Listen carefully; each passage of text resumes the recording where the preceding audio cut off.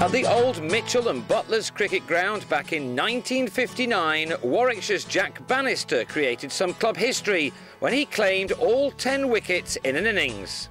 34 years later, this ground in the Birmingham suburbs held its last league fixture before it fell into disrepair and was left. This is what the old pavilion looked like then. Now, after more than two years of hard work, this is what's been achieved and the ground itself at Portland Road has been completely reformed, with some of the final touches being done on the NatWest Cricket Force weekend. It's a story of success. A, a miraculous coincidence, I guess, in a way. Uh, the old Mitchells and Butlers brewery site uh, had been derelict for some time. Persimmon, the, the developers had bought the main site, and at the heart of the, the, the plot of land was this wonderful old sports ground. Um, and Persimmon had the opportunity to build some further houses so long as they could get somebody to take on the running and the responsibility for the sports field.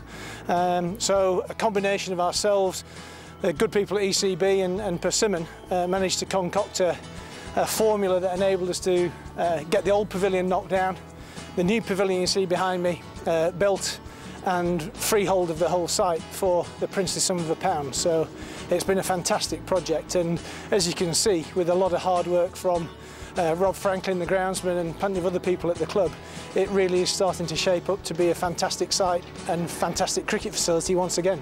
Yeah, it is possible. You have to um, have a very long-term view and be prepared to do quite a lot of work. However, it has been shown that it can be done and um, you can get funding, you can get help if you you're prepared to sit down and sit in for five to ten years sometimes.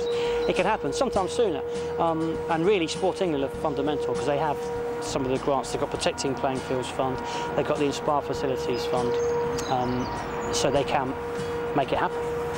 The new facility will be used by Warwickshire's junior teams to begin with, but there are many more plans ahead to take this successful project yet further in the future. Yeah, uh, I mean, it's really pleasing to see how it's coming along.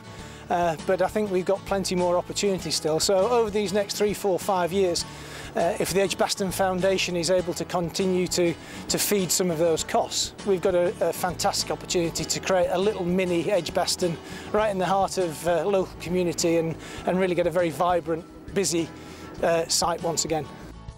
The work has, of course, been labour intensive with the Edgbaston ground staff of Rob Franklin and Gary Barwell working tirelessly on the all-important pitch. Yeah, probably about two years ago, um, I came up with the chief executive, Colin Povey, and the ground was in a little bit of decay, um, a bit sorry for itself, for want of a better word. We had a 10 pitch square put in, um, which went in at the middle of last year, probably sort of uh, May, June time um, which went down really well. We had good weather, so that was really pleasing. And the idea behind that was the same company did that as we have work at uh, Edgbaston. So that anybody that comes to play here um, will play on similar type of pitches, similar soils to what we have at Edgbaston, albeit the surroundings slightly different. Around the ground, all sorts of work was being done over the annual NatWest Cricket Force weekend, including some by a couple of current Warwickshire players. It's fantastic. I mean, I think the initiative is to sort of get people volunteering, helping out your local club, and sort of do those jobs that all year round are probably put off. And take a weekend out to actually do those jobs that get put off for the rest of the year.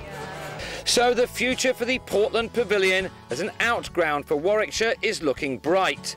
It's an example of just what can be achieved. And now there is even more to look forward to. It'd be nice to be thinking that maybe somebody out of that under 10 side in May, June, you know, in 10 years' time, we, we're welcoming him or her into one of the Warwickshire first teams and, and playing on the, the hallowed turf at Edgbaston itself.